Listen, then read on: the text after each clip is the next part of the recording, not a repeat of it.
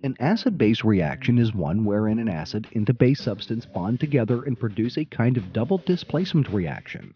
An example would be when you put ionic salt with water. HAH plus BOH equals H2O plus Ba. 4. Combustion. This reaction is called exothermic because it produces heat as a byproduct and occurs when oxygen, H2O, bonds with another compound to produce water and carbon dioxide, CO2. An example is the chemical reactions that results to naphthalene. C10H3 plus 12O2 equals 10CO2 plus 4H2O. 5. Synthesis. This occurs when two elements bond to form a compound or when two compounds bond to form a more complex one. The equation for this would be A plus B equals AB. 6.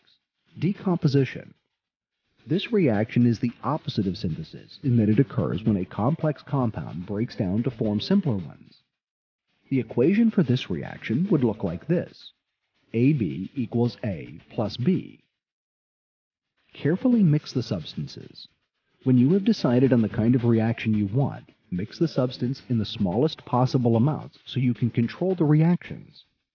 Glass is the best kind of container for these experiments, since plastic can melt and steel can react to the chemicals as well.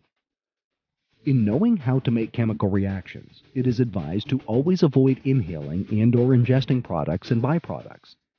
Also, after mixing, make sure that you are responsible in storing and disposing substances. Mixing chemical substances is not child's play, and so handling such substances must be done with utmost care